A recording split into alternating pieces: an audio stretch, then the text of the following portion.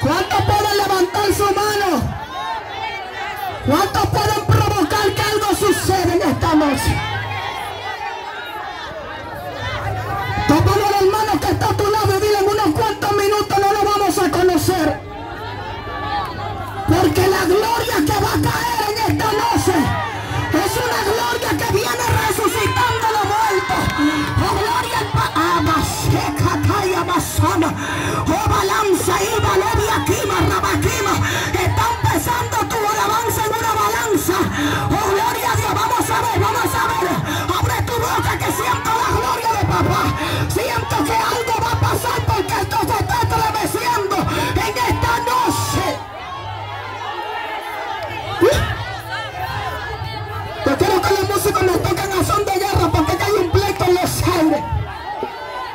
busca.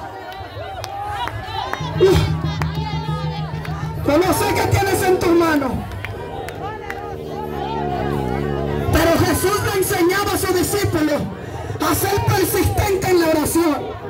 Y aquí hay gente que tienen que ser persistente en lo que vinieron a buscar en esta noche. Wow, Dios mío, qué, qué gloria se mueve.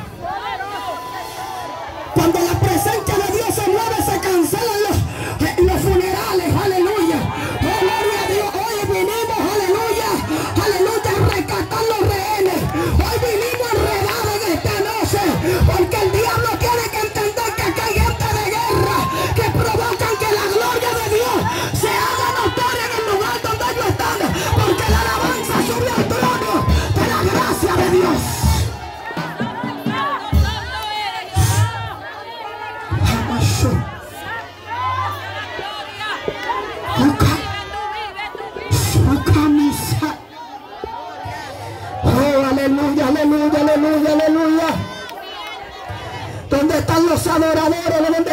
adoradores. Oh, la gente de guerra, ¿dónde están los músicos? Oh, gloria al Cordero de Dios. Necesitamos subir a los aires. Oh, gloria al que vive por los siglos de los siglos. Oh, mi alma adora a un Cristo que cambia. Mi alma adora a un Cristo que liberta. Mi alma adora a un Cristo que transforma. Y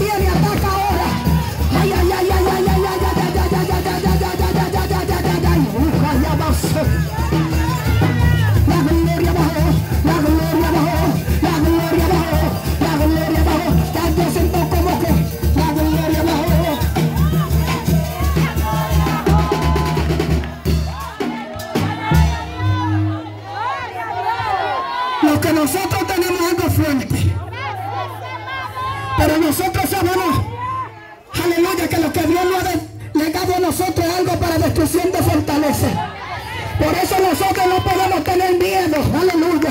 Nosotros tenemos que ser guerreros dispuestos a pelear en todo terreno. Aleluya. No importando la guerra, no importando las situaciones. En esta noche hay un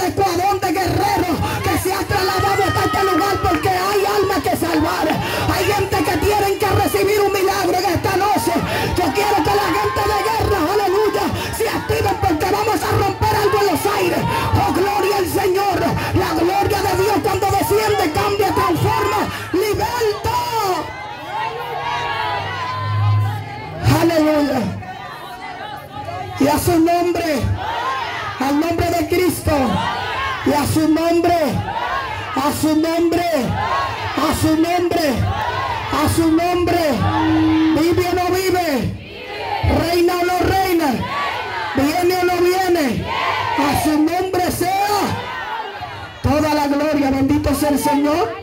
Es más que un placer estar con ustedes en esta noche. Aleluya, bendito sea el Señor. Yo quiero que usted vaya conmigo al libro de Marcos, capítulo 16, a la altura. Bendito sea el Señor, del versículo 15 en adelante. Aleluya. San Marcos 16, aleluya, versículo 15 en esta noche. Aleluya. Para predicar la palabra del Señor en esta noche. Aleluya pero que no cese la alabanza, porque la Biblia dice que al que Hijo del Hombre libertare seréis verdaderamente libre. Y si ustedes los cristianos que llegan a la iglesia o llegan al lugar y siempre tienen la cara con un machete, hay un coro que dice el cristiano, cristiano, tiene que estar contento. Si tiene la cara como un machete, es porque le falta arrepentimiento. Bendito sea el Señor. Por eso nosotros como creyentes que hemos conocido la verdad, debemos seguir siempre adorando, no importando la situación, porque Dios cuenta con nosotros que Él siendo invisible se hace visible por medio de nosotros. Aleluya. Soy su hermana, Evelyn Montero de Martínez, y estoy junto a mi esposa en la iglesia evangélica pentecostal Hebreos 13.8, viviendo la senda antigua, soy en Santo Domingo, sector Villamella, bendito sea el Señor, allá estamos adorando un Cristo vivo y de poder, aleluya, un Cristo que cambia. Cuando usted lo tenga, me confirma con un amén. Leemos la palabra de Dios honrando al Padre, honrando al Hijo y al Espíritu Santo. Amén. Y le digo, y por todo el mundo predicar el Evangelio a toda criatura. El que creyere y fuere bautizado será salvo. Mal que no creyere será condenado. Y estas señales seguirán a los que creen en mi nombre. Echarán fuera demonios hablarán nuevas lenguas, tomarán en las manos serpiente y si vivieran cosas mortíferas no le hará daño. Sobre los enfermos pondrán sus manos y sanarán.